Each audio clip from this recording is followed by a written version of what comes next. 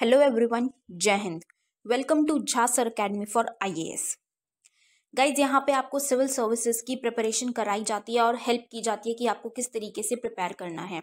यहाँ पे आपको आपकी प्रिपरेशन को एनहांस करने के लिए कुछ फ्री कंटेंट्स प्रोवाइड किए जाते हैं आपकी प्रिपरेशन के लिए। कहाँ पे आपको यूट्यूब प्लेलिस्ट में मिल जाएगा। आप यूट्यूब पे जब जाएँगे तो आपको वहाँ पे वेरियस प्लेलिस्ट अवेलेबल होंगी, जहाँ पे आपको जो डेली करंट अफेयर्स के लेक्चर्स अपलोड किए जाते हैं, आपको उनकी प्रॉपर तरीके से प्लेलिस्ट अवेलेबल होगी। उसी के साथ साथ आपको मंथली प्लेलिस्ट भी मिलेगी करंट अफेयर्स की और ईयरली प्लेलिस्ट भी मिलेगी। और साथ ही जो करंट अफेयर्स डेली बेसिस पे आप लोगों को प्रोवाइड किए जाते हैं, उन्हीं की फ्री ऑफ़ कॉस्ट आपको पीडीएफ्स भी दी जाती हैं हमारे टेलीग्राम चैनल पे। सो so गाइज़ अगर आपने टेलीग्राम चैनल ज्वाइन नहीं किया है तो तुरंत डिस्क्रिप्शन बॉक्स में जाइए, वहाँ पे आपको लिंक प्रोवाइडेड होगा जहाँ से आप हमारे चैनल को ज्वाइन कर सकते हैं और वहाँ से आप हमारी सारी पी का एक्सेस ले सकते हैं। और उसी के साथ साथ गाइज़ आप लोगों के लिए एक बहुत ही अच्छा इनिशिएटिव स्टार्ट किया गया है मेंस के प्रीवियस ईयर क्वेश्चन एनालिसिस का।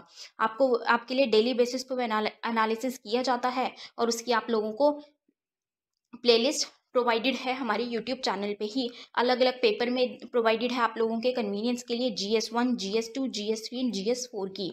उसी के साथ साथ आप लोगों के लिए जीएस के अलग अलग सब्जेक्ट्स की भी प्लेलिस्ट अवेलेबल है। इकोनॉमिक्स है जैसे सी सैट की आप लोगों के पास प्लेलिस्ट होगी और हिस्ट्री की भी प्लेलिस्ट आपको मिल जाएगी, जो कि बिल्कुल फ्री होगी, वो आपको यूट्यूब पे ही अवेलेबल होगी और इन्हीं प्लेलिस्ट में साथ ही साथ नए नए कंटेंट्स भी रेगुलर बेसिस पे ऐड ऑन किए जाएँगे, जिसके लिए आप लोगों को झांसर अकेडमी को रेगुलरली फॉलो करना है और अपनी प्रिपरेशन को एनहांस करना है राइट right? और उसी के साथ साथ गाइज़ कुछ पेड कोर्सेज भी हैं, जो आप लोगों के लिए लाए गए हैं झासर अकेडमी फॉर आईएएस के द्वारा, जो जिन पेड कोर्सेज को झासर खुद पर्सनली मेंटोर करते हैं, खुद उसको रिलेट करते हैं। जैसे कि जीएस का प्री प्लस मीन्स बैच है इस बिल्कुल ज़ीरो से तैयारी करवाई जा रही है। झासर खुद तैयारी करवाते हैं। पर्सनल गाइडेंस आपको दी जाती है प्रॉपर तरीके से। आपको अटेंशन प्रोवाइड की जाती है और बिल्कुल बेसिक से आपको तैयारी करवाई जा रही है आपकी प्रिपरेशन को एनहांस करने के लिए। राइट तो आप इन कोर्सेज को भी ज़रूर ज्वाइन कीजिए। जैसे कि एक मेंस का भी आंसर राइटिंग का टेस्ट सीरीज़ बैच चल रहा है और प्रीलिम्स का भी टेस्ट सीरीज़ कोर्स चल रहा है गाइज़ जो आपको हमारी ऐप पे टेस्ट सीरीज़ प्रोवाइड की जाएँगी। टेन थाउज़ेंड क्वेश्चन की आपको प्रैक्टिस कराई जाएगी। वो टेन थाउज़ेंड क्वेश्चंस आपको कहाँ पे अवेलेबल होंगे? झासर अकेडमी फॉर आईएएस की वेबसाइट पे भी अवेलेबल है और हमारा एक ऐप भी है, झासर अकेडमी फॉर आईएएस आप अगर डालेंगे तो प्ले स्टोर से आपको वो ऐप मिल जाएगी, आप उसको डाउनलोड कर सकते हैं। वहाँ पे आपको प्रीलिम्स की टेस्ट सीरीज़ का एक्सेस भी मिल जाएगा और उसी के साथ साथ इतनी बेहतरीन ऐप है कि आपको वहाँ पे स्टडी टूल्स भी अवेलेबल हैं कि आपकी जो स्टडी है, आप उसको ट्रैक कर सकते हैं कि आप कितना टाइम इफेक्टिवली स्टडी कर रहे हैं। तो इस ऐप को गए ज़रूर ज्वाइन कीजिएगा डाउनलोड कीजिएगा और वेबसाइट भी अवेलेबल है। उस वेबसाइट पे भी आप जाके सब कुछ एक्सेस कर सकते हैं जो कि ऐप पे अवेलेबल है। Right so guys Jhansar academy को रेगुलरली फॉलो करते रहिएगा।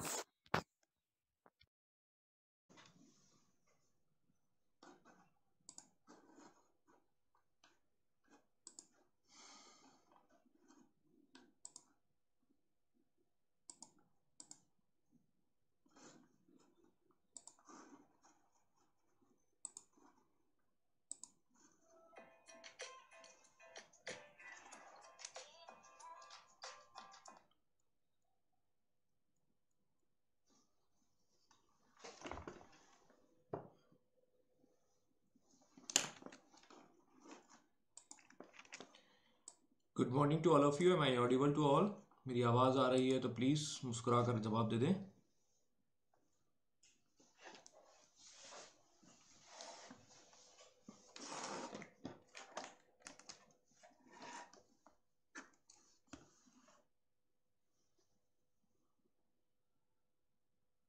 Okay all right good morning to all of you Radhe Radhe जय श्री राम, नमस्कार। अभिनंदन।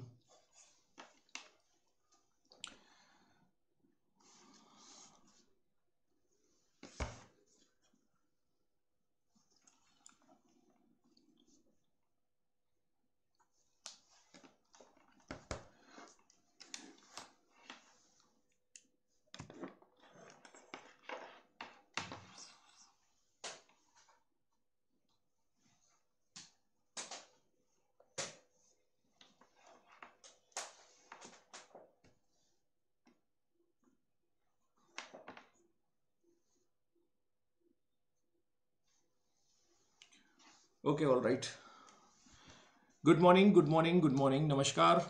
चलिए, कल हमने क्या कहानी शुरू की थी? कल हमने देखा था कि किस तरीके से आपका एवक जो है, वो अपना एक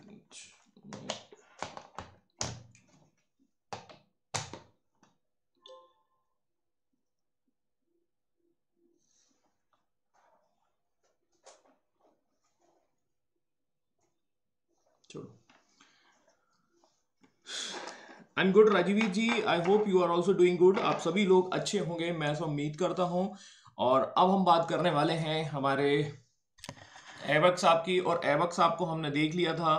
और एवक साहब क्या कर रहे हैं वो भी हमने देखा था कि एवक साहब का कंट्रीब्यूशन जो है मेमोरियल है। मेमोरियल क्यों है? क्योंकि हमने देखा था, ना केवल वो कुतुब मीनार की शुरुआत करते हैं, बल्कि वो दिल्ली सल्तनत की भी शुरुआत करते हैं। और इसीलिए जो है, उनके बारे में हम कह सकते हैं we are going to that means finalize the comments ठीक है? उनके बारे में जो है, वो हम देखेंगे। He was considered the founder of the Muslim empire in India उसे मुस्लिम साम्राज्य का संस्थापक कहा जाता है।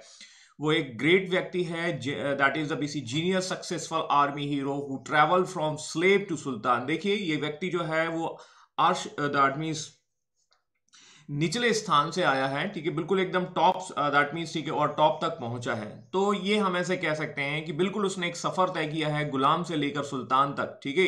तो ध्यान देना, गुलाम we can see that Aamir Khan से लेकर ये बने हैं आपके सुल्तान तक, ठीक है? सुल्तान मिर्ज़ा, ऐसा हम कह सकते हैं, ठीक है? तो ये कहानी जो है, वैसे इस तरीके से बनने की है और इस तरीके से इनके बारे में कहा जा रहा है। और ये गौरी के सबसे सक्सेसफुल स्लेव में से एक है, ये है आपका कुतुबुद्दीन ऐबक इसीलिए लैनपुल साहब जो है, वो ये कहते हैं he was the founder of the Muslim empire in India Minhaj ये कहता है कि भाई, कि वो बहुत ज़्यादा दैट मीन्स ठीक है अच्छी भावना वाला व्यक्ति था। बहुत सारी चीज़ें बात उनके बारे में कह सकते हैं। I hope this is very understandable ठीक है? दैट मीन्स ठीक है, आप इसको आसानी से समझ सकते हैं। इसमें कोई इशू नहीं है, समझने वाली बात, ठीक है? तो कुतुबुद्दीन ऐबक जो है वो एक खास कैरेक्टर वाला व्यक्ति है और उस खास कैरेक्टर वाले व्यक्ति के द्वारा ही फाउंडेशन रखी जा रही है दिल्ली सल्तनत की। और दिल्ली सल्तनत की फाउंडेशन रखी जाएगी और आगे हम देखते हैं तो वो चीज़ें देखने को मिलेगा। आशीर्वाद आशीर्वादी श्रीवास्तव जी कहते हैं कि सबसे बड़ा उसका अचीवमेंट ये था कि उसने क्या किया कि जो रिलेशंस हैं, गजनी से, जो गजनी एम्पायर था, उससे उसने वो रिलेशंस जो हैं, उनको हटाया या उनको अलग किया, ये सबसे बड़ा उसका अचीवमेंट रहेगा। करेक्ट है? क्योंकि वो वहाँ से डोमिनियन स्टेट्स के पॉइंट ऑफ़ व्यू से हम उसको समझ सकते हैं कि कहीं ना कहीं जो है वो एम्पायर जो था, वो गजनी के अंतर्गत आता था बट यहाँ पर इस चीज़ को इन्होंने दूर किया या हटाया तो this was the great achievement of the Qutbuddin Aibak. And he was he is also contributing in the different kind of the architecture as well ठीक है? आर्किटेक्चर्स के पॉइंट ऑफ़ व्यू से भी हमने देखा। तो देखिए, अब कहानी शुरू करते हैं एग्जैक्टली exactly हमारी एक कुतुबुद्दीन ऐबक, और कुतुबुद्दीन ऐबक के बाद हमें आए हमारे जो नेक्स्ट जो रूलर होंगे, उनका नाम होगा आराम शाह। आराम शाह को बड़े हम आराम से निकाल देंगे, ठीक है? मैंने यहाँ कुछ रूलर्स के नाम अलग से स्पेशल रखने की कोशिश की है just to understand the situation and the scenario correct है? हालाँकि ये आपको एनसीईआरटी में देखने को नहीं मिलेंगे तो थोड़ा सा मैं आपको बार बार यही बोलता हूँ कि हम जो है एनसीईआरटी तो फॉलो कर ही रहे हैं बट एनसीईआरटी के साथ मैं इसको एनसीईआरटी प्लस कहूँगा तो ज़्यादा बेहतर होगा। I hope you are getting the point what I am saying तो आराम शाह को बड़े आराम से निकाल देंगे, क्योंकि सत्ता जो है, इनके बाद आती तो है बट आराम शाह जो है, इतने दैट मीन्स आराम से निकल जाएँगे कि हम उनकी चर्चा नहीं करेंगे। ऑल राइट करेक्ट है। इसके बाद आएगा the person name is called the Iltutmish and Iltutmish is very that mean the great rulers of the Delhi Sultanate. ठीक है, दिल्ली सल्तनत का एक खास शासक होगा, जिसे कहा जाता है actual founder of the Delhi Sultanate, ठीक है? और यहाँ पर हम देखते हैं he is going to founded the forty peoples ठीक है? एक दल बनाता है जिसको फोर्टी पीपल्स का दल कहा जाता है।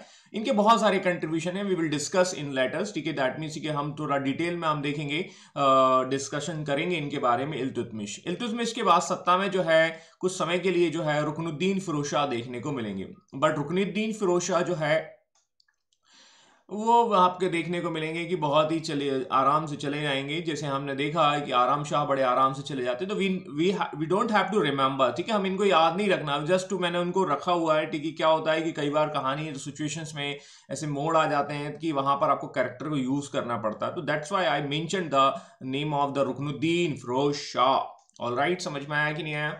इसके बाद हम देखते हैं कि इसके बाद आएँगे रजिया। नाम तो सुना ही होगा। Razia Sultana that is the daughter of the Iltutmish. Iltutmish की बेटी होंगी और वो सत्ता में आएँगी यहाँ पर करेक्ट है? इसके बाद जो है, आपको कोई और भी रूलर्स देखने को मिलेंगे। बहराम शाह। बहराम शाह के बाद मशहूद शाह। मशहूद शाह के बाद आपको देखने को मिलेंगे नासरुद्दीन। तो ऑल दीज थ्री रूलर्स ठीक है, हम इनके बारे में ज़्यादा डिटेल नहीं डिस्कस करेंगे। कितने यूनिक और बड़े नाम है। बिल्कुल सही कहा आपने। देखिए थोड़ा सा देखिए क्या है कि अब शासक हैं रूलर हैं और वो टाइटल भी ले लेते हैं तो टाइटल को वो अपने नाम के साथ जोड़कर बताते हैं, ठीक है? बहुत से शाह देखने को मिल रहे हैं। समझ में आया होगा आपको, ठीक है? तो यहाँ पर आप समझ लीजिए, ठीक है? कुछ इस तरीके से कहानी आपको देखने को मिलेगी।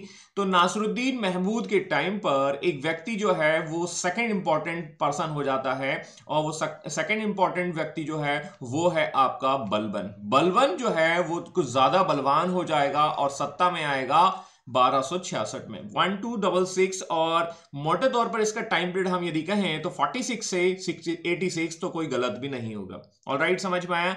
तो यदि आप थोड़ा सा गौर फरमाएँगे तो आप देखेंगे कि we will find out the different different colours ठीक है? That is blue and the black correct है? लेकिन मैं जो बात करने वाला हूँ, मैंने खास शासकों की ही बात करूँगा तो ये जो हमारे जो ब्लू में आपके जो चमकते हुए दिखाई दे रहे हैं, हम उनकी ही चर्चा करने वाले हैं। ऑल राइट समझ में आया कि नहीं आया? हाँ we will that means use these other rulers names to to understand the scenario scenario को समझने के लिए हम ज़रूर उनका उपयोग करेंगे। तो कचरा का उपयोग सपोर्टिंग एलिमेंट्स में यूज़ किया जाता है, ठीक है?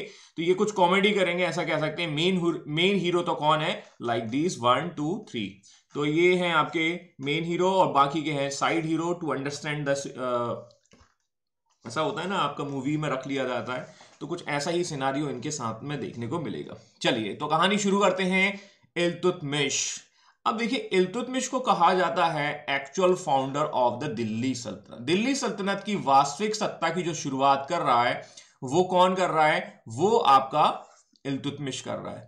अब देखिए, ये क्या करता है? अपनी कैपिटल जो है, उसको शिफ्ट कर देता है और अपनी कैपिटल को शिफ्ट करके कहाँ लेके आता है? दिल्ली लेके आता है।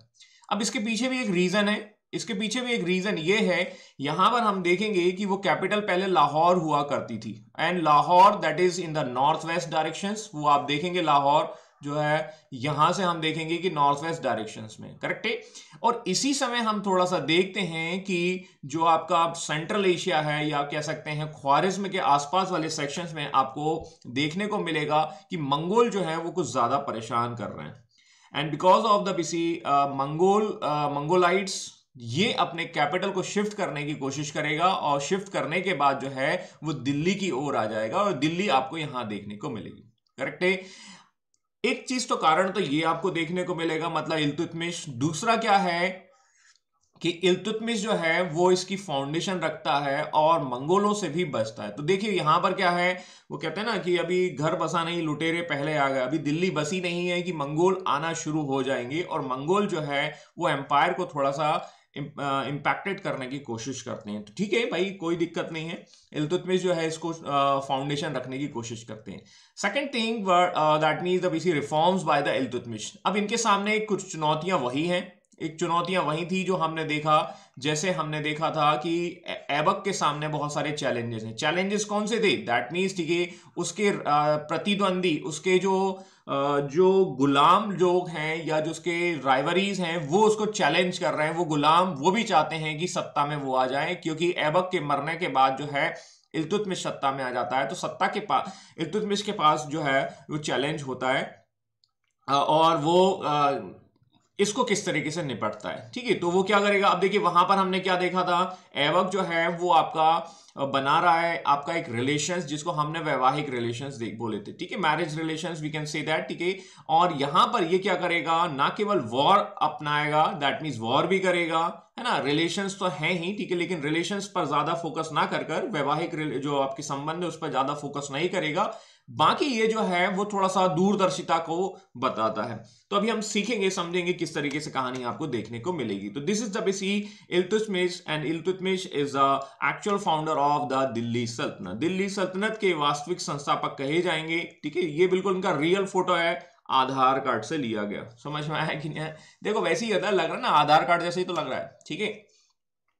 He was obviously subedar of the Badaun Badaun का ये सूबेदार होता है। Badaun that is a place near in the Uttar Pradesh Uttar Pradesh के आसपास वाले सेक्शन में ये यहाँ पर आपके आ, सत्ता में है और एवक के टाइम पर ये सूबेदार होते हैं। बाकी हमने देखा ही था कि भाई ये रिलेटिव्स होते हैं किसके?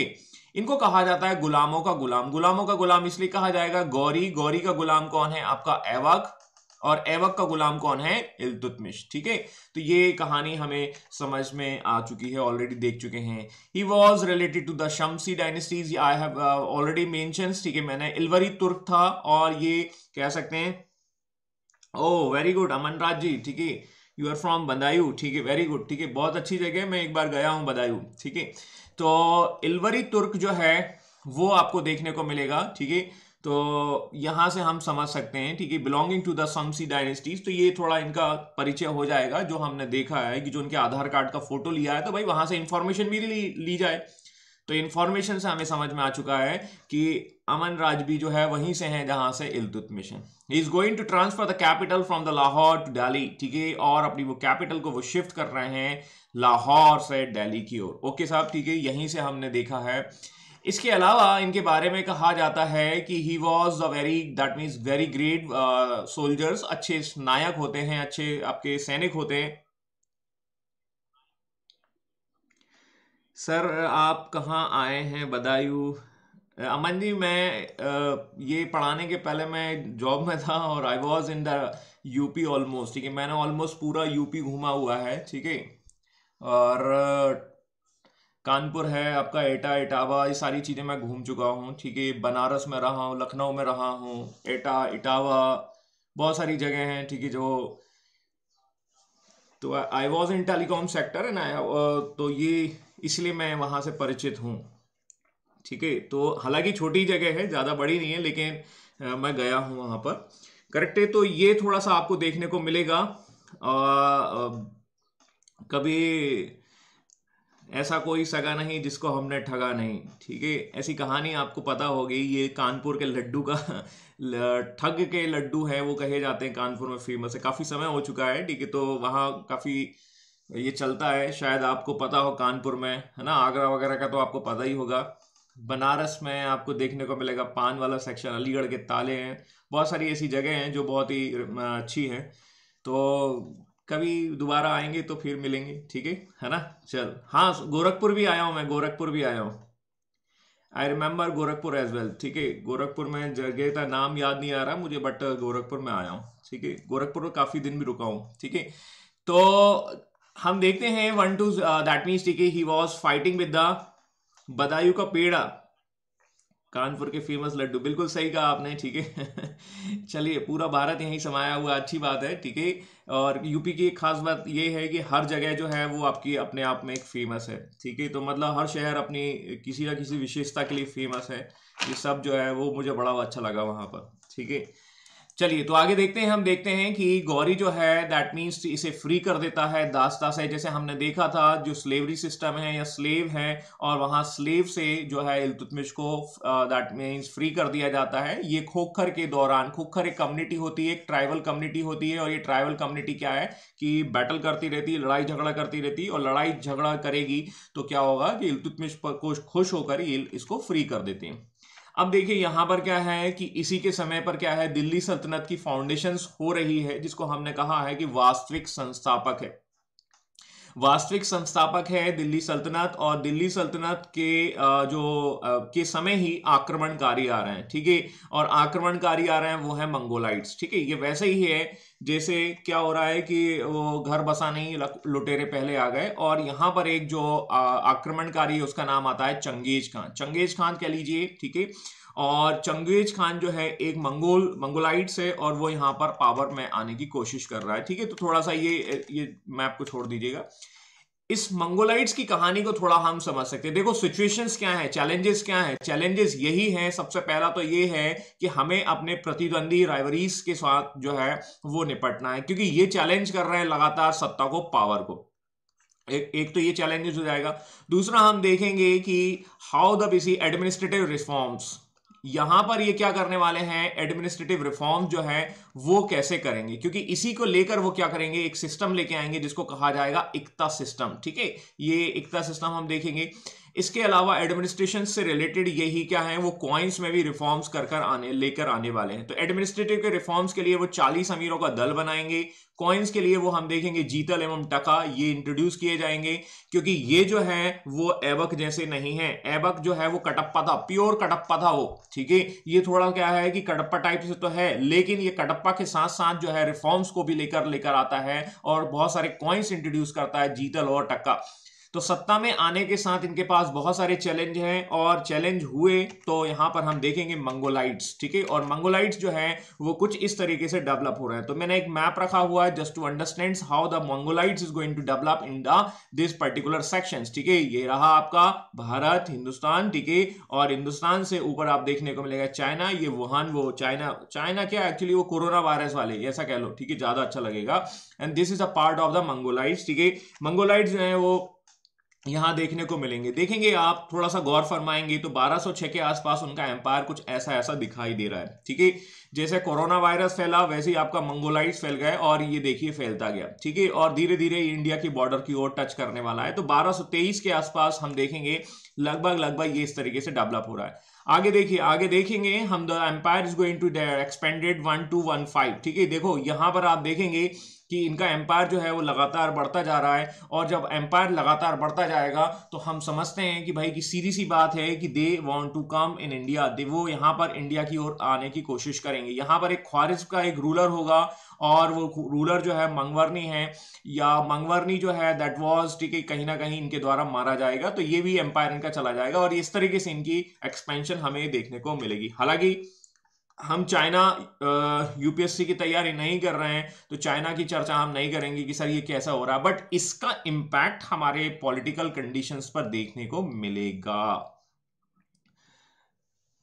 हाँ हाँ मंगोलिया चंगेज खान वाला बिल्कुल Rajveer ji you are right ठीक है ये छोटी आँख वाले ठीक है चीनी ठीक है यही है यही है पकड़ यही है वो लोग जो चाइना जो आपका ये कोरोना वाला वायरस लेके आए थे ठीक है आगे चलकर क्या होगा कि आगे चलकर हम देखते हैं कि आ, इनका एम्पायर जो है वो आपका डिवाइड हो जाएगा। कुछ इस तरीके से हम देखते हैं। तो ये मोटे तौर पर एक व्यू हमें समझ में आ चुका है। The Changez Khan is expanding the empire या हम कह सकते हैं ये चीनी जो है, ये वायरस जो है लगातार फैला रहे हैं और फैला रहे हैं तो ये इंडिया में भी आने की कोशिश करेगा और इंडिया में कब आएगा, कैसे आएगा, वो हम थोड़ा एक सीक्वेंस के साथ समझ सकते हैं। ऑल राइट समझ में आया कि नहीं आया?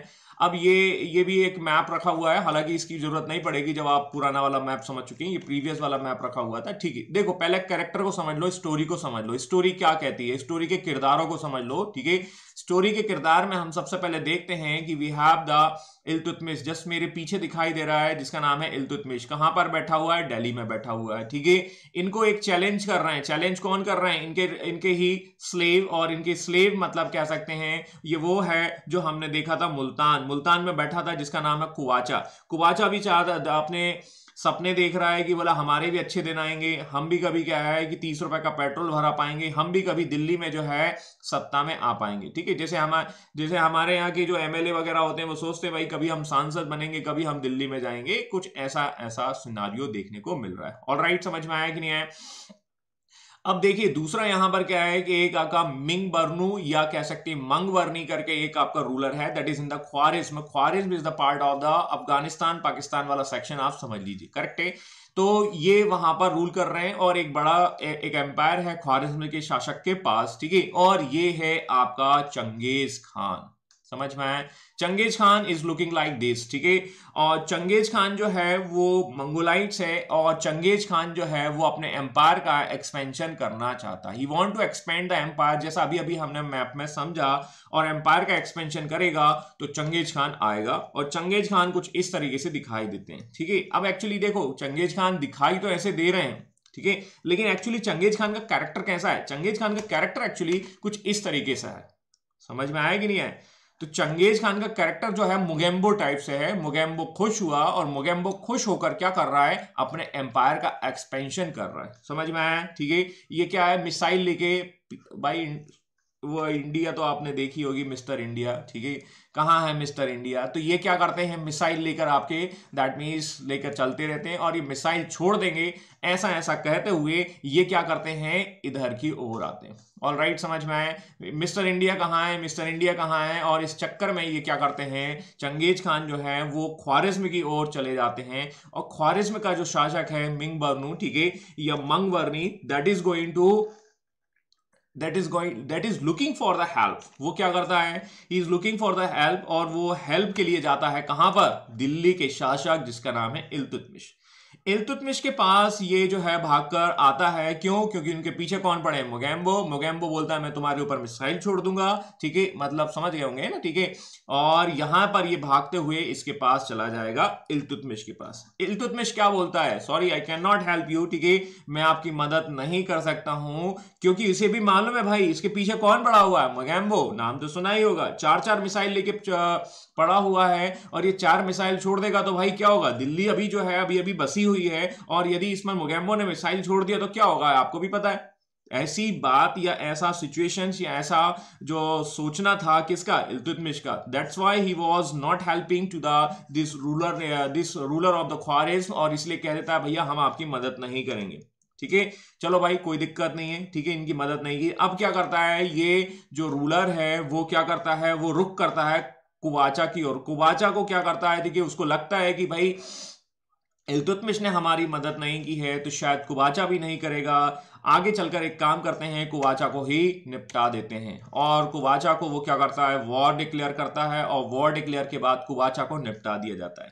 तो this is the basically forecasting of the this rulers ठीक है? इल्तुतमिश का ये दूरदर्शिता का परिचय देखने को मिलता है। वो ना केवल अपनी कंट्री को बचाता है मुगेम्बो के खतरे से, बल्कि he is he having same kind of the qualities to handle the rivalries जो उसका एक राइवरी है, जिसका नाम है कुवाचा उससे भी वो निपट जाता है। ऐसा सिनारियो जो है, वो इल्तुतमिश के मन में था और उसने उसको एग्जीक्यूट किया और finally he save his country और वो अपनी कंट्री को बचाने में सफल रहता है। आगे चलकर क्या होता है? आगे चलकर ये होता है कि मोगेम्बो जो है, जो ख्वारिज्म के पीछे पड़ा है तो वो उसको भी निपटा देता है। तो एक ये निपटा, एक ये निपटा, और जो मंगोलाइट्स हैं, या मंगोलाइट्स जो है, आपके जो मोगेम्बो हैं, वो फिर क्या होते हैं कि इंडिया की बॉर्डर पर नहीं आते, या इंडिया के क्षेत्र में नहीं आते। हालाँकि मंगोलाइट्स जो है, लगातार अटैक करते रहेंगे आने वाले समय में। लेकिन फिर भी ही वॉन्ट दैट मीन्स कि he was able to save his the country और इस तरीके से उसकी कंट्री सेव हो जाएगी। एक मिनट, ये कुछ गड़बड़ हो रहा है। वो अपनी कंट्री को सेव करने में सक्षम हो पाएगा, ये हमें थोड़ा सा देखने को क्या हो रहा है इसको?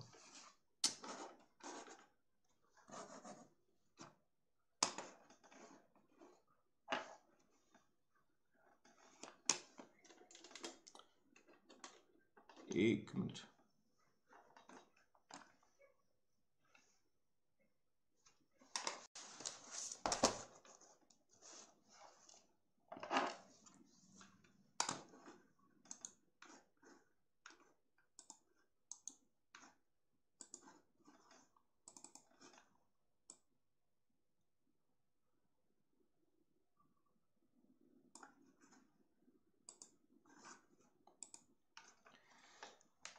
तो वी कैन से दैट कि he was able to save his country just recently उसने अपनी कंट्री को बनाया था और इस तरीके से इल्तुतमिश ने जो है, ना केवल मोगैम्बो से अपनी कंट्री को बचाया, बल्कि जो इसके राइवरीज हैं, जो उसको चैलेंज कर रहे थे, उनसे भी वो निपटने में सक्षम हुआ। This is the quality of the Iltutmish और इल्तुतमिश इस तरीके से इस सिचुएशन को हैंडल करता है। ऑल राइट समझ में आया कि नहीं आया भाई? कहानी के द्वारा ठीक है? तो ये थोड़ा सा हम ऐसा समझ सकते हैं। तो इल्तुतमिश ने सबसे पहले तो हम देखेंगे कि जो मंगवरनी है या मुंगवरनी है उससे आ, उसकी मदद नहीं की और फाइनली जाकर क्या कर सकता है? करता है कि वो अपने एम्पायर को बचा देता है मंगोलों के अटैक से। करेक्ट है? ये हमने समझ लिया। अब देखिए, मंगोलों से तो हमने निपट लिया है, लेकिन उनका एक और चैलेंजेस जो है, वो आपको देखने को मिलेगा यलदौज के द्वारा, ठीक है? और उसका जो चैलेंज है that is going to ended by the in the battle of Tarain third ठीक है? अभी हमने देखिए बैटल ऑफ़ तराइन फ़र्स्ट देखा सेकंड देखा एंड द थर्ड देखा। और तराइन का बैटल जो है, वो आपको तीसरा देखने को मिलेगा, वो आपको यहाँ देखने को मिलेगा that is in between the Tajuddin Yalduz and the Iltutmish और इल्तुतमिश इस बैटल में क्या करेगा? यल्दौज को हरा देगा। समय है 1216 ठीक है? 1516 के आसपास की समय की बात है। और इस तरीके से फाइनली हम देखते हैं कि इन्होंने ना केवल अपने राइवरीज को हटा दिया, बल्कि ये अपने एम्पायर का एक्सपेंशन भी कर रहे हैं। तो ये एक इनका क्वालिटी होगा जबकि पिछला रूलर था, जो आपका जो एबक था, वो कैसे आपका अपनी कंट्री को सेव कर रहा है, या अपने चैलेंजेस को हटा रहा है, वो हमने देखे थे, वो आपको देखने को मिलेगा, जो है वो आपकी मैरिज पॉलिसीज़ को अडॉप्ट करता है, ठीक है? इस तरीके से, इस तरीके से वो अपने इस मैटर को सॉल्व करने में सफल रहा। अब देखिए, आप देखेंगे कि ये मैटर तो सॉल्व हो चुका, आपकी जो राइवरीज हैं वो तो खत्म हो चुके हैं। अब आपके पास चैलेंज क्या है? अब आपके पास चैलेंज है एडमिनिस्ट्रेटिव रिफॉर्म्स ठीक है? तो वो अब एडमिनिस्ट्रेटिव रिफॉर्म्स की ओर जाएँगे और ये इल्तुतमिश जो है, वो कहीं ना कहीं अपने जो प्रशासनिक सुधार है उनको करेंगे। तो ये उसके कुछ कार्य हो जाएँगे जो मैंने आपको यहाँ लिखे हैं। दैट मीन्स ठीक है, वो अपने विरोधियों को समाप्त कर लेगा।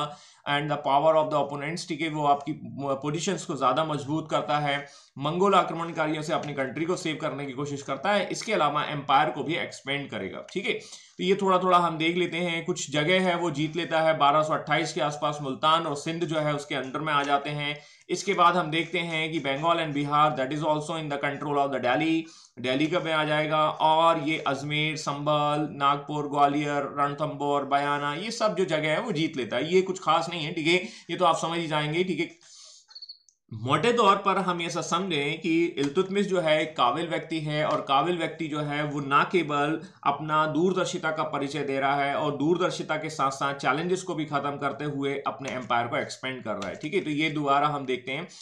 अब ये क्या करता है? ये एक तुर्कान चहलगानी का गठन करता है। देखिए एडमिनिस्ट्रेटिव रिफॉर्म्स के तहत we are discussing the Turkan Chahalgani. Turkan Chahalgani का मतलब ये है चालीस अमीरों का दल। देखो, अब इसको कैसे समझेंगे? सत्ता में कौन है? सुल्तान कौन है?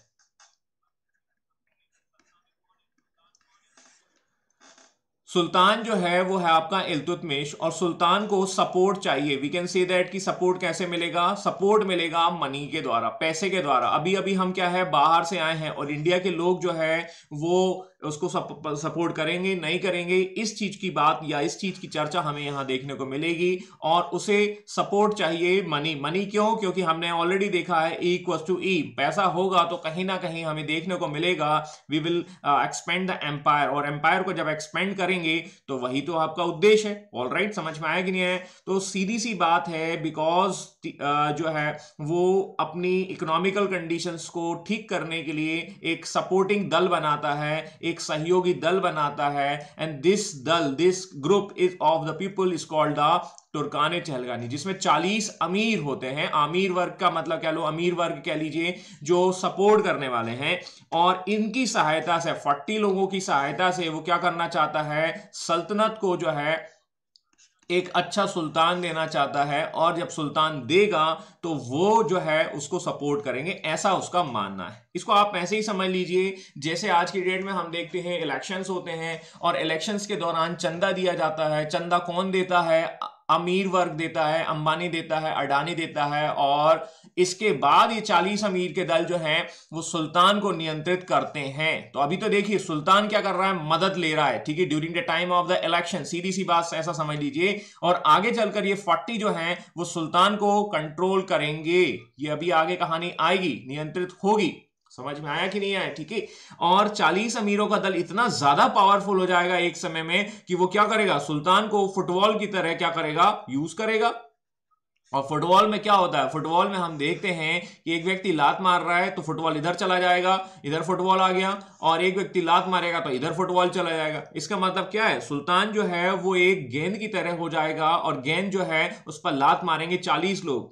क्योंकि 40 लोग जब यदि फुटबॉल पर स्ट्राइक करेंगे तो होगा क्या? सुल्तान जो है, वो सुल्तान नहीं रह जाएगा। ठीक है? वो, आप देखिए दैट मीन्स कि वो व्यक्ति जो है, उसकी प्रतिष्ठा कहाँ चली जाएगा? उसका प्रस्टीज कहाँ चला जाएगा? और सुल्तान का प्रस्टीज जो है, वो डाउन होगा और जब ये प्रस्टीज डाउन होगा, तब जाकर एक व्यक्ति आएगा जो बलपूर्वक ये कहेगा, बलवन आए हैं। और बलवन क्या करेगा कि भाई, सुल्तान जो है, वो गेंद नहीं है, सुल्तान फुटबॉल नहीं है। एक काम करो, ठीक है? ये कौन ने इसको फुटबॉल बनाया? बोला, हमने बनाया, नाम है फट्टी। दैट मीन्स तुर्कान चलगानी ठीक है, एक काम करो, ना रहेगा बाँस, ना बजेगी बांसुरी। सबसे पहले इस तुर्कान चलगानी को ही खत्म कर दो। क्योंकि इसने सुल्तान को एक गेंद बना दिया है। सुल्तान गेंद नहीं है। सुल्तान सुल्तान मिर्ज़ा है भाई ठीक है? जो मुंबई पर राज करता है जो दिल्ली पर राज करता है ऐसा हम कह सकते हैं। और बलवन इस चीज़ को बताएगा कि सुल्तान जब आएगा तो आपको क्या करना होगा? सज्जा करना होगा उसको झुकना होगा उस आ, सामने वाले व्यक्ति को उसके हाथ और पैर को जो है वो आपको चूमना होगा। ये है सुल्तान की प्रस्टीज समझ में आया कि नहीं आया? जैसे आज की डेट में हम देखते हैं कि हमारे सुल्तान आते हैं। सुल्तान हमारे यहाँ के सुल्तान कौन है? रामनाथ कोविंद। और हमारे यहाँ के जब सुल्तान आते हैं तो लोग जो है, वो खड़े हो जाते हैं। आपका, जो आपका, जो नेशनल एंथम है, वो आपका बजना शुरू हो जाता है। कुछ इस तरीके की सिचुएशंस आपको देखने को मिलती हैं। हमारा सुल्तान जो है बहुत ही दैट मीन्स खास है, और वो एक बड़े महल में रहता है। तो ऐसी प्रस्टीज ऐसी व्यवस्था, ऐसा जो दिन है, वो लेकर आता है वापिस बलवन तो सबसे पहले ये आगे चलकर क्या करने वाला है? ये 40 अमीरों के दल को ही खत्म कर देगा। तो मैंने आपको एक सिनारियो बना दिया है, ये सिनारियो धीरे धीरे बनेगा। लेकिन सिचुएशंस आपको समझ में आ चुकी होगी he is going to stabilize the 40 peoples forty peoples and they are helping to the Sultan to creation of the Delhi Sultanat और दिल्ली सल्तनत की बनाने में इनका योगदान होगा। लेकिन आगे चलकर क्या होगा? इसकी महक भी आपको आना शुरू हो चुकी है। ठीक है? हलवा बनेगा लेकिन महक पहले आ जाती है वही हम देखेंगे। He was the first king, he was the first ruler who is going to introduce the Arvi coins and these Arvi coins is called the Taka and Jital. ये टका और जीतल नाम की जो है वो कॉइन्स चलाते हैं। टक्का जो होता है वो आपका चांदी होता है, ठीक है, जीतल जो होता है वो आपका कॉपर का कॉइन होता है। आप लोगों ने ताजी चाट तो खाई होगी, ये ऐसे याद रख लेना। ताजी चाट करेक्ट है। ता से कॉपर आएगा, जा से जीतल आएगा, चा से आपका चांदी आएगा, टा से टका आएगा। ऑल राइट समझ में आया कि नहीं आया? ठीक है चार्ट खाते समय आप इल्तुतमिश को ज़रूर याद रखिएगा। और मुझे भी कर सकते हैं ठीक है?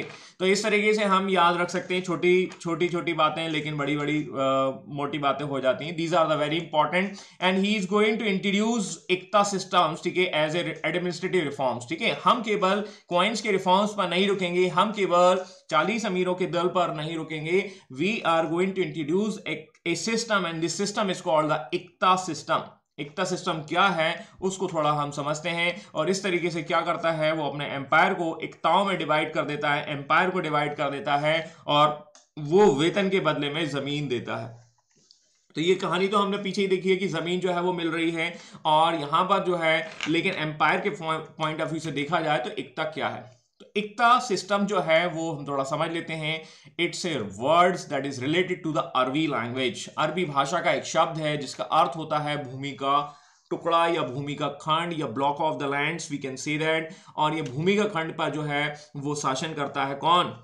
इकतादार, ऐसे कह सकते हैं। जैसे तहसील होता है, तहसील में तहसीलदार होता है सिमिलर लाइक दैट और दिल्ली सल्तनत जो है, वो कई इकताओं में बटी होती है। मतलब हम कह सकते हैं, ये ये ये इसके भाग होते हैं। ठीक है, जैसे आप देख लीजिए इंडिया है, ऐसा ऊपर मान लीजिए, और इंडिया में स्टेट हैं कितने ट्वेंटी एट स्टेट है, और उसी तरीके से एकता है। ठीक है तो जैसे हमने पीछे देखा था भुक्ति, कौन से एकता से हो? अभी अभी एक व्यक्ति ने बोला कि भैया, सर, हम जो है, वो आपके बदायूं एकता से हैं। ऐसा भी हम समझ सकते हैं तो ऐसा सिचुएशंस को हम थोड़ा सा डेवलप कर लेते हैं।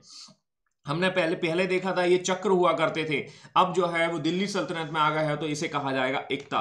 और ये एकता का हेड होता था इकतादार या मुक्ति या बली, ठीक है? तो मुक्ति या बली जो है, वो उसके हेड हुआ करते थे, जैसे तहसील का तहसीलदार हेड हुआ करता है, ठीक है?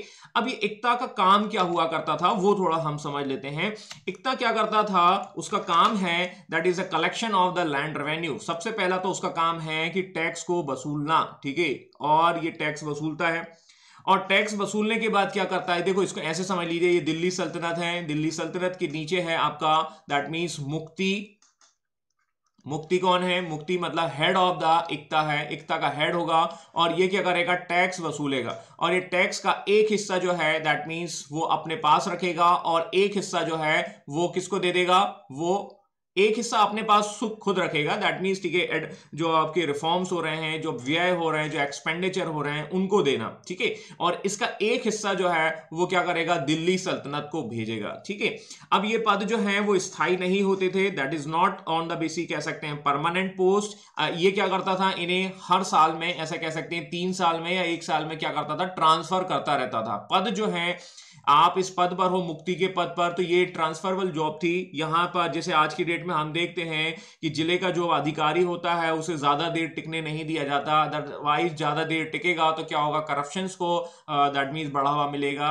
और मुक्ति को ये लोग जो है, ज़्यादा देर तक रुकने नहीं देते थे और कुछ समय के बाद उसे क्या कर देते थे? चेंज कर देते थे। इसके पीछे कारण यही है कि करप्शन और दूसरा क्या है कि क्या है कि ये जो है पावरफुल ना हो जाए। और अगले दिन क्या करे? अगले दिन पावरफुल ना हो जाए, क्योंकि इसके पास टैक्स है, इसके पास सेना है, इसके पास आर्मी है, और अगले दिन जो है वो क्या कहेगा? रिवॉल्ट भैया, हम दिल्ली सल्तनत से के अंतर्गत नहीं आएँगे, दिल्ली सल्तनत के बाहर चले जाएँगे। तो ऐसी सिचुएशंस आपको देखने को मिलेंगी। That's why they are going to that means the post is not permanent ये पोस्ट जो है, स्थायी नहीं होगी।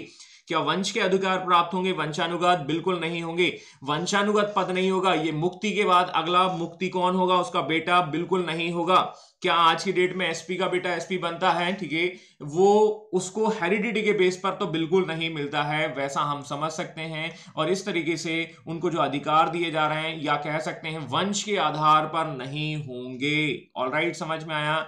आगे चलकर बलबन नाम का एक रूलर मिलेगा, और बलबन नाम का जो रूलर है, वो क्या करेगा?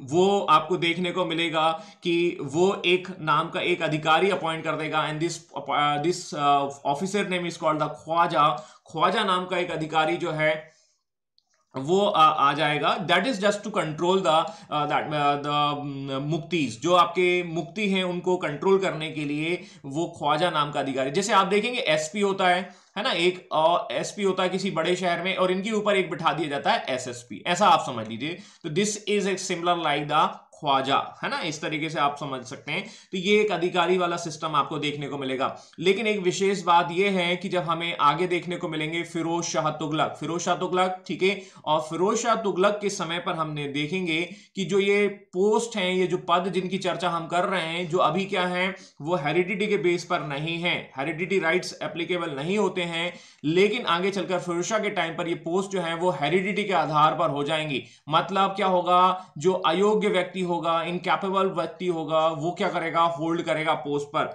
और यही, यहीं पर दिल्ली सल्तनत पर आरोप लगने लगेंगे कि भाई वंश के आधार पर आप राहुल गांधी को जो है सत्ता दे रहे हो। मेरी बात समझ में आ चुकी होगी आप लोगों को। और जिसके पीछे गांधी लगा है, यह हम ऐसे कह सकते हैं तो अयोग्य व्यक्ति सत्ता में आना शुरू हो जाएँगे। इनकैपेबल रूलर्स जो है सत्ता में आने लगेंगे। और अयोग्य व्यक्ति यदि आ गए तो क्या होगा, ये आप सबको पता है। मेरी बात समझ में आ चुकी होगी। तो फिरोज शाह तुगलक की policies is one of the reason of the decline of the Delhi Sultanat. तो दिल्ली सल्तनत का डिक्लाइन होगा, लेकिन इसकी शुरुआत जो है फिरोज शाह तुगलक करेंगे। और भी कहानी को हम समझते हैं, ठीक है, आगे बढ़ेंगे तब। लेकिन ये एकता सिस्टम ज़रूर याद रखिएगा on iqta system that was introduce by the Iltutmish to reforms in the administrate अभी देखिए, अभी की व्यवस्था कितनी अच्छी है। अभी की व्यवस्था जो है, वो बहुत ज़्यादा अच्छी है, लेकिन आगे चलकर रूलर इसमें मॉडिफिकेशन कर देते हैं। भाई सत्ता का शासक रूलर है, और वो सुल्तान जो है, वो अपने हिसाब से कर देगा। और राइट समझ में आया कि नहीं आया? तो ऐसी सिनारियो ऐसा सिचुएशन जो है, इनके द्वारा देखने को मिलता है और इनके द्वारा देखने को मिलेगा, लेकिन आगे चलकर रूलर्स में चेंज करेंगे, जो इनके द्वारा देखने को मिलेगा कि मतलब कहीं ना कहीं सिनारियो चेंज हो जाएगा। ठीक है? इसके अलावा he is kind of he is getting the some kind of the recognization या ऑथोराइज लेटर्स फ्रॉम द खलीफा खलीफा याद है भैया? खलीफा that is the representative of the Islam ठीक है? इस्लाम का वो रिप्रेजेंटेटिव होता है और उससे हमें लेना पड़ता है एक प्रकार का दैट मीन्स लाइसेंस लाइसेंस कह लीजिए। लाइसेंस का मतलब ये। देखो, अब आप बताइए एक बच्चा बोलता है, सर लाइसेंस लेने की ज़रूरत क्या है? बिल्कुल सही कहा, अमन जी, हम इसकी चर्चा करेंगे बिल्कुल, ठीक है? आप बिल्कुल सही जा रहे हैं, ठीक है? और देखो, लाइसेंस लेने की ज़रूरत क्या होती है? आपने, आप सभी को, आप सभी ने गाड़ी चलाना, बाइक चलाना, आप सभी को आता होगा, मैं ऐसा मान लेता हूँ, ठीक है? है ना? कोई, किसी को नहीं आता होगा तो कोई दिक्कत नहीं, हम सीख लेंगे, ठीक है? लेकिन इंटरनेट पर तो नहीं सीख पाएँगे भाई, ठीक है? तो बाइक चलाना आप सभी लोगों को आता होगा, और मेरे ख्याल से आपने शायद पंद्रह से सोलह साल या सत्रह साल में आपने गाड़ी चलाना सीख लिया होगा, ठीक है? लेकिन फिर भी आप लोग जब अट्ठारह के हुए होंगे अट्ठारह प्लस तो है ना सारे के सारे भाई?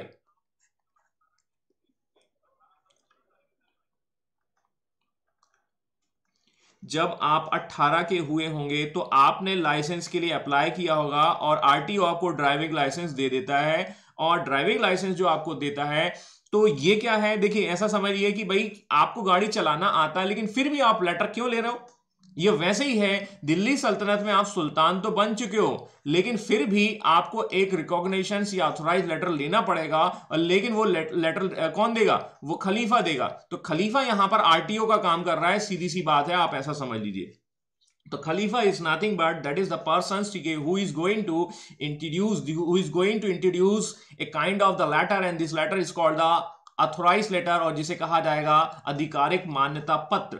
और ये आधिकारिक मान्यता प्राप्त जो है, वो आरटीओ जारी करता है same like your driving license in current scenario तो ड्राइविंग लाइसेंस लेने जाएँ तो आप ज़रूर जो है खलीफा को याद रखें, ठीक है? ध्यान देना 18 प्लस तो है, किसी ने पूछा ही नहीं, सर, किसी ने एक, दो अच्छा कुछ लोगों के आंसर आए। ओके ठीक है। तो वी आर दैट मीन्स ठीक है मच तो ये इनके द्वारा कुछ रिफॉर्म्स हो रहे हैं। इसके अलावा क्या कर रहे हैं ठीक है अब जब इन्होंने जब खलीफा से ड्राइविंग लाइसेंस ले लिया तो खलीफा क्या करेगा? खलीफा जो है, वो क्या करेगा? इनको एक उपाधि देगा, एक टाइटल देगा। या हम ऐसे कह सकते हैं कि उसे वो रिकॉग्निशन या अथोराइज लेटर दे रहा है तो उसके रिस्पेक्ट में वो क्या करेगा? आमिर उल नासिर आमिर उल मोमिनीन that is the BC titles ठीक है? ये थोड़ा सा खतरनाक है, ठीक है? हाँ।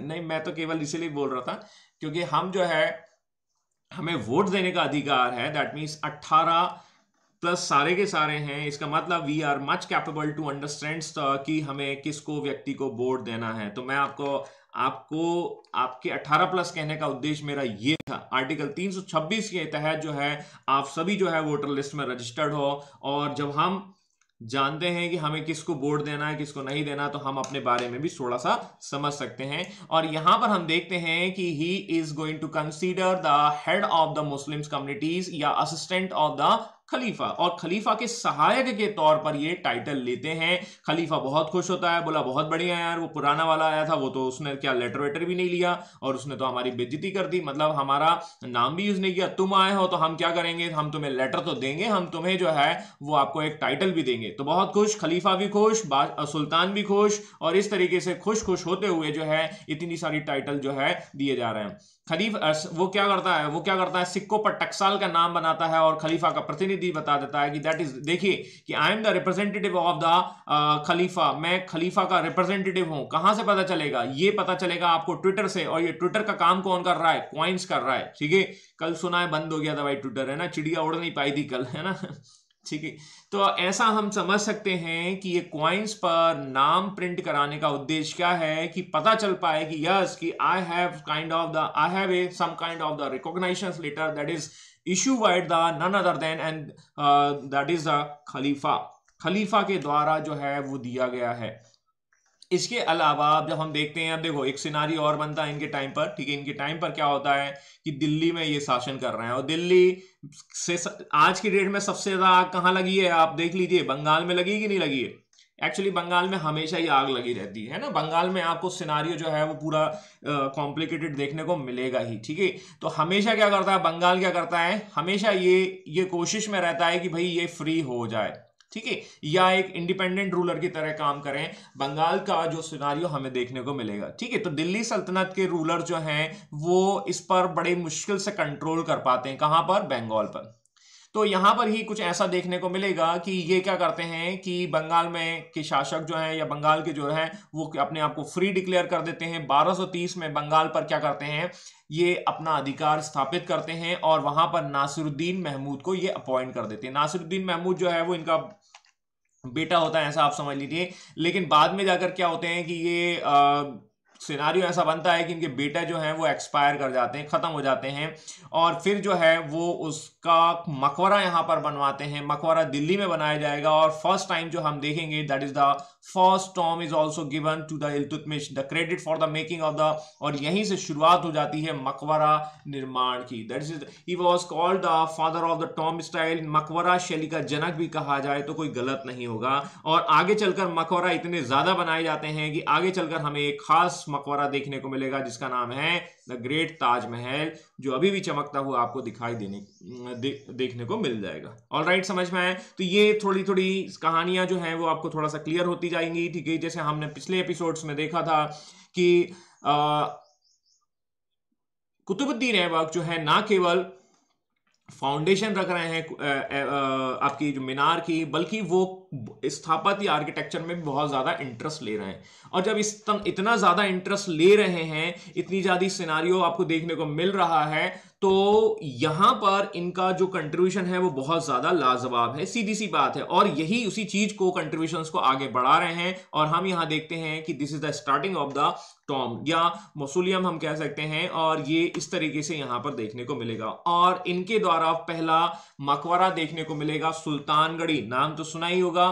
सुल्तानगढ़ी मतलब सुल्तान का गढ़ कह सकते हैं। सुल्तान मिर्ज़ा जो है वो यहीं से होते हैं, ऐसा आप समझ लीजिए। और मकबरा नासरुद्दीन महमूद का होगा, ये हम देखते हैं इनका। और ये दिल्ली में आज की डेट में शायद एक जगह भी है प्लेस भी है, जहाँ आप जा सकते हैं, ठीक है? बहुत सारा इशू बहुत सारी ये देखेंगे। आई थिंक मेरे ख्याल से 315 नंबर की बस जाती है वहाँ पर, ठीक है? मैं पहले रहा करता था तो वहाँ पर एक बस जाया करती थी तो कुछ ऐसा ऐसा है आपको देखने को मिल जाएगा। ठीक है, बाकी देखते रहना भाई, ठीक है, और कुछ खास नहीं, ठीक है। ये है वो आपका मकबरा जिसकी चर्चा मैं कर रहा था, और थोड़ा सा इसके आर्किटेक्चर को देखने की कोशिश करें तो ये थोड़ा सा क्या है, ठीक है दैट मीन्स ये थोड़ा बेंजीन टाइप से बेंजीन तो समझते होंगे भाई। एक, दो तीन, चार, पाँच, छः, सात। थोड़ा ये सात जो है इसमें, ठीक है? बेंजीन में आपको देखने को मिलेंगे, छः आपको देखने कुछ इस तरीके से आपको देखने को this is the top view we can see that like that ठीक है? तो ये उसका मेन गेट हो जाएगा, लेकिन अंदर जो है आपको कुछ इस तरीके से देखने को मिलेगा, कुछ ये बेंजीन की तरह आपको यहाँ दिखाई देगा तो ये ऐसा आप समझ सकते हैं करेक्ट है? बेंजीन में छह होते हैं, बिल्कुल सही बोल रहे हैं आप, ठीक है? आई थिंक यहाँ पर सात हैं, ठीक है? तो ये थोड़ा सा आर्किटेक्चर से हमें थोड़ा सा देखने को मिले। मिलेंगे। हाँ बिल्कुल, बेंजीन जो है वो केमिस्ट्री वाला। तो वहीं से आप समझ सकते हैं कि भाई ये कुछ ऐसा आर्किटेक्चर दे रहे हैं और ये आर्किटेक्चर आपको देखने को मिलेगा कहाँ पर? ये सुल्तानगढ़ी में क्यों है? क्योंकि यहाँ पर हम देखेंगे एक व्यक्ति लेटा हुआ है जिसका नाम है नासरुद्दीन महमूद। नासरुद्दीन महमूद का आधार कार्ड का नंबर क्या है? तो Nasiruddin Mahmud is nothing but he was the son of the Iltutmish Iltutmish वही है जिसने चालीस अमीरों का दल बनाया। इलतुतमिश वही है जिसने आपके जता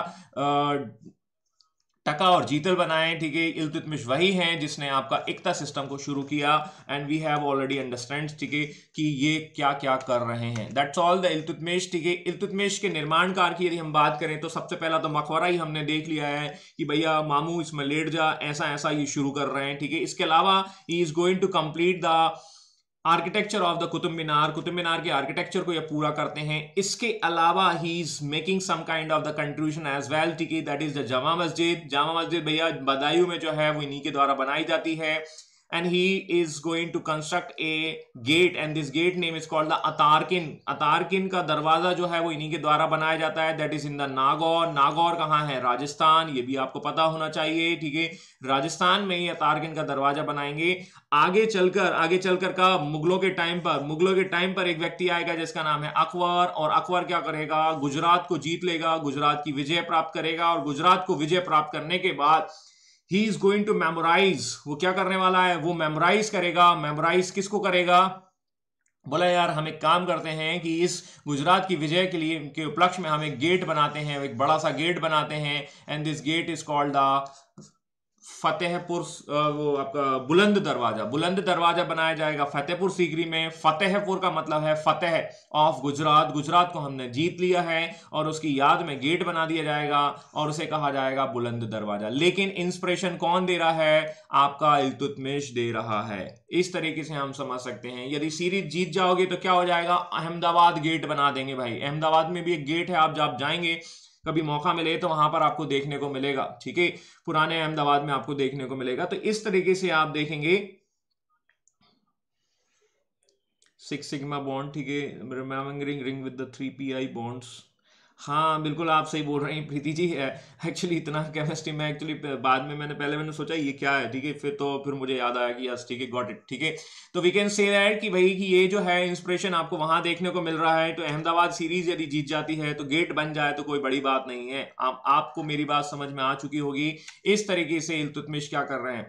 And Iltutmish was very much that means उसको पता है कि उसके बच्चे जो हैं वो नाकारा हैं ठीक है? इलतुतमिश को ये पता था। तो उसने बोला कि बच्चों में भी क्या है कि दैट मीन्स के जो सन है तो वो नाकारा है। बोला, एक काम करते हैं, किसको ज़्यादा सत्ता दे दें तो बोला इसको, इसका जो सत्ता है, वो अपनी डॉटर को दे दिया जाए, और डॉटर का नाम है रजिया रजिया नाम तो सुना ही होगा। और रजिया सुल्ताना जो है, उनको सत्ता दी जाएगी, और रजिया सुल्ताना जो है, वो सत्ता में आने की दैट उनको मतलब डिक्लेरेशन कर दिया जाएगा। लेकिन एक्चुअली ऐसा होगा नहीं, है ना? तो शुरुआत में रजिया जो है ही she she is facing some kind of the challenges of the brothers ठीक है? और इनके ब्रदर जो है, रुकनुद्दीन फिरोज शाह, वो इनको चैलेंज करेंगे। और वो यहाँ पर क्या करने वाले हैं? इनको थोड़ा सा परेशान करने वाले हैं। तो ये थोड़ी सी कहानी है और ये कहानी जो है, वो आपको देखने को मिलेगी, ठीक है? तो ये एक, खैर, ये तो क्वेश्चन गलत है, ठीक है? यहाँ उसका कोई नहीं है। ये एक दैट मीन्स एक स्टेटमेंट रख दिया था मैंने ताकि he was a actual founder ये एक्चुअल फाउंडर क्यों कहा गया है? तो एक्चुअल फाउंडर हम देखेंगे क्यों किस रिस्पेक्ट में कहा गया है?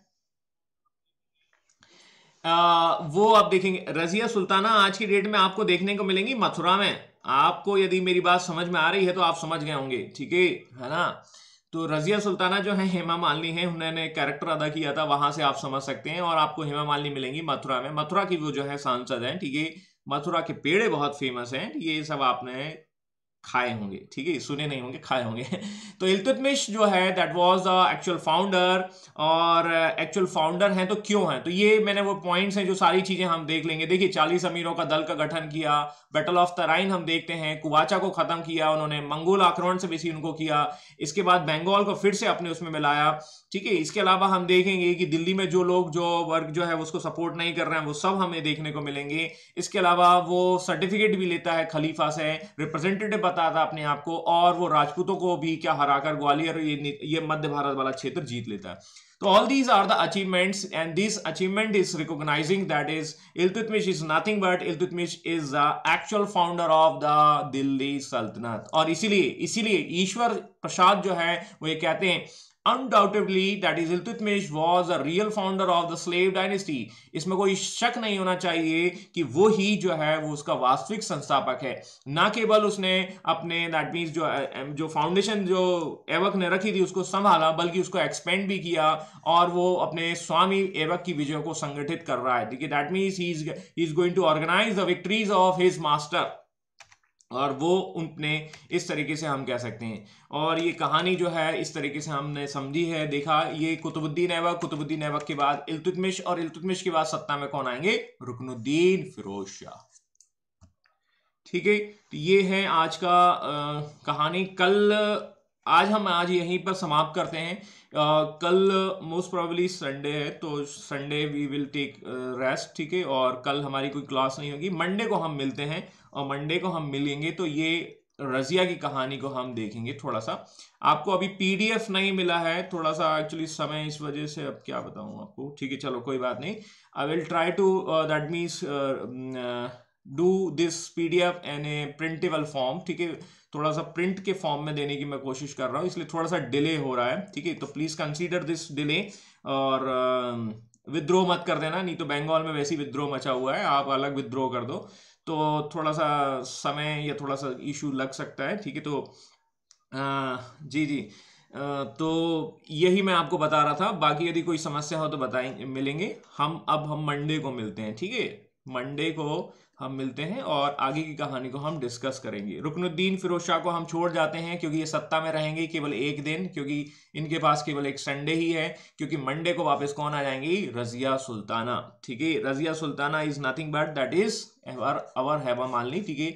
और हेमा मालिनी जो है वो पूछेंगी कि, चलो यस यस यस यस नहीं, राजवीर जी, वो मुझे याद है एक्चुअली बस क्या है समस्याएँ थोड़ी सी हैं, इस वजह से वो नहीं हो पा रहा है।